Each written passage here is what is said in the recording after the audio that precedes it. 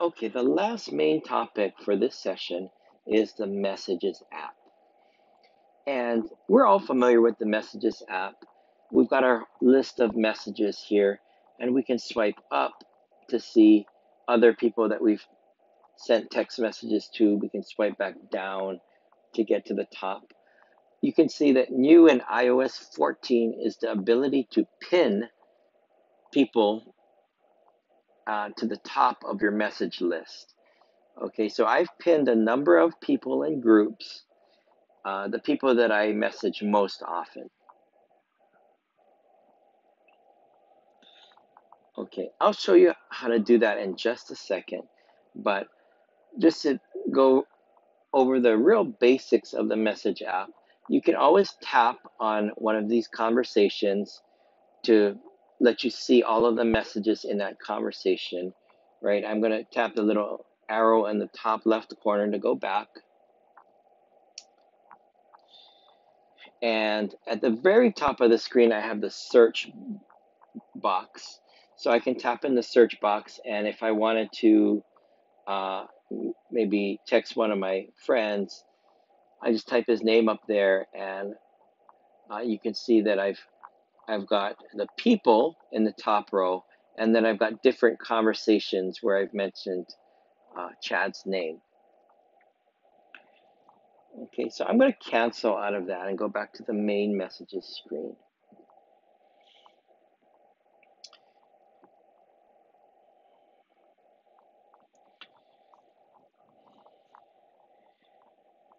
Okay, so now that I'm back here on the screen, I'm going to go into Joan's message because I know Joan is still awake, so I can text her and it, it won't be a problem.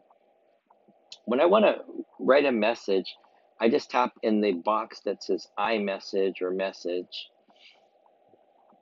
And you're familiar with typing your message, right? So I can just type uh, type a couple of message, messages here and click the blue arrow to send that message. but what you might not be familiar with is in the bottom of my screen on the on the bottom right corner is a microphone. And that microphone allows me to dictate and type.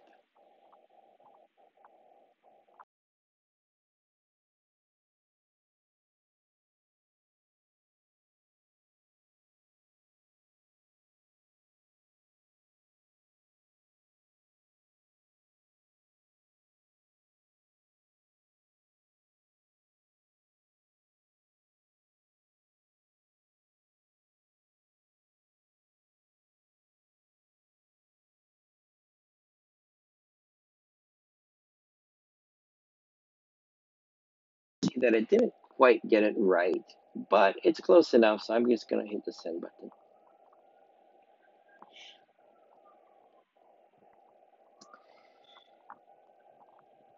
A new feature in one of the, the latest versions of iOS is also the ability to swipe your finger on the keyboard to type. So instead of tapping the letters, you can actually swipe whole words.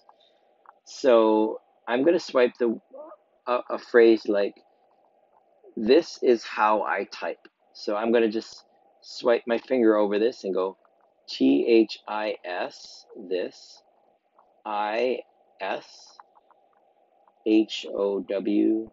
So I'm just swiping my finger over the letters.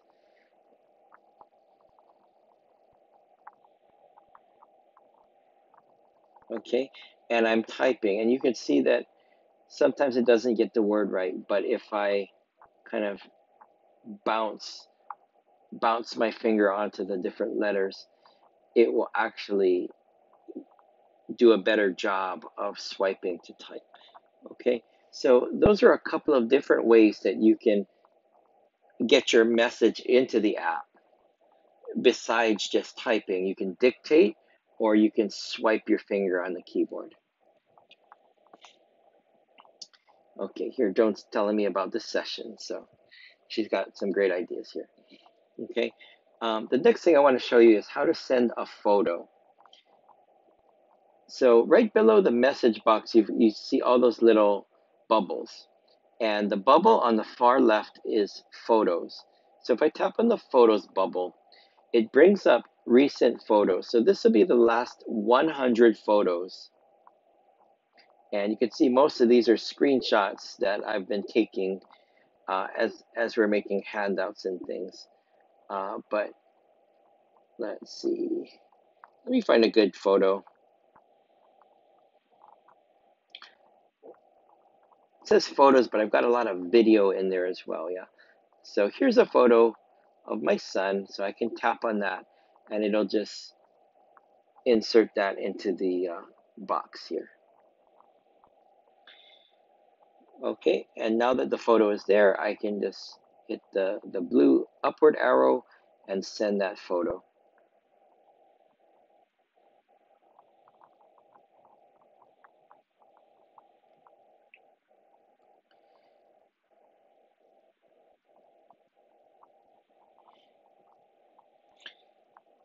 Okay, to get out of the photos and to get back to typing messages, I just have to type in the message box there.